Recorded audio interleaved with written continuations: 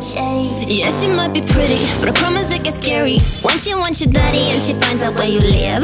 Creeping in the shadows, eating poisoned apples. She's nothing like you ever seen. Her mood goes up and down and round and round, and ain't no telling what she might do next. Cause she's an itty bitty spider with an itty bitty lighter, and she might just come for you. Should always sleep with.